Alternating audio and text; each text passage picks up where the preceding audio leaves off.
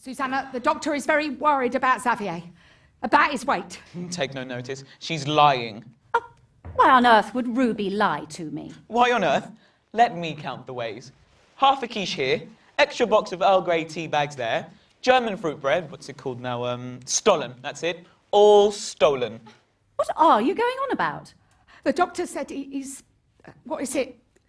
She, she said he's something impaired. Numb nuts. Numb nuts? That sounds serious. Glucose. Glucose impaired. And he'll get type 2 diabetes if he doesn't lose some weight. And she's going to write to you. Oh, Cupcake, come here.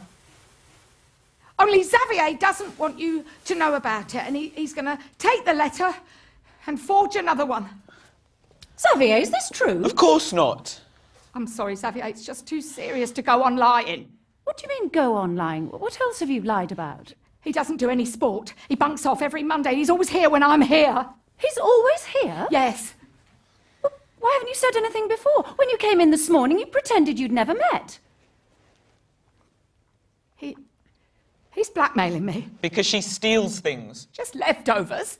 And you thought you'd blackmail her? I'd do anything to get out of games.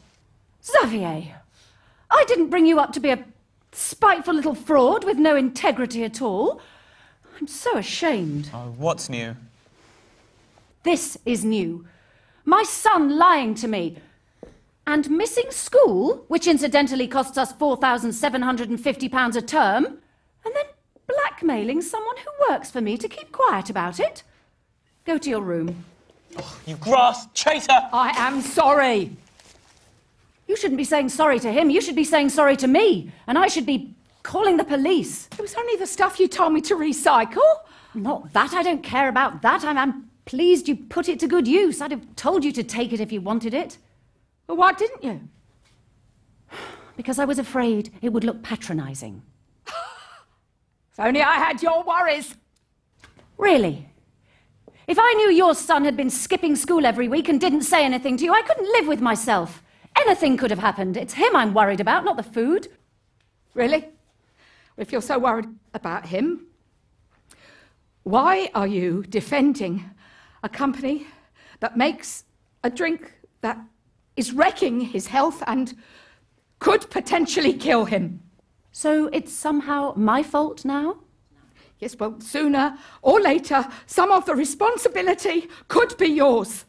It's a healthy drink. You said so yourself. Yes, but since then I, I read in the papers that it, has got this stuff in it, um, fructose.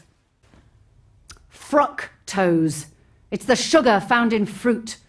Yeah, but I read that when it's artificially overloaded into drinks, it can pile on the calories.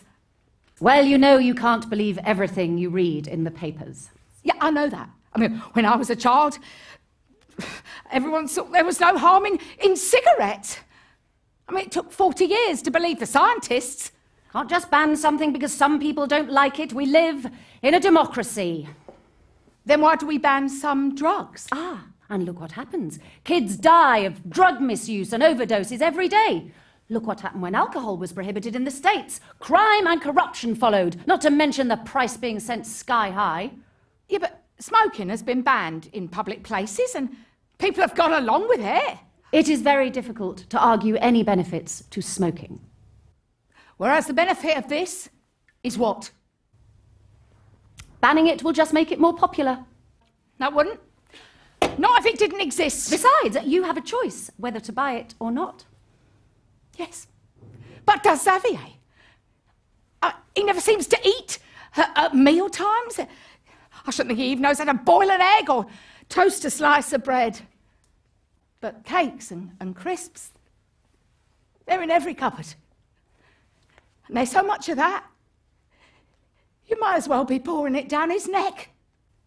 Don't try to even pretend to put his welfare first. I trusted you, and you betrayed that trust. Please go.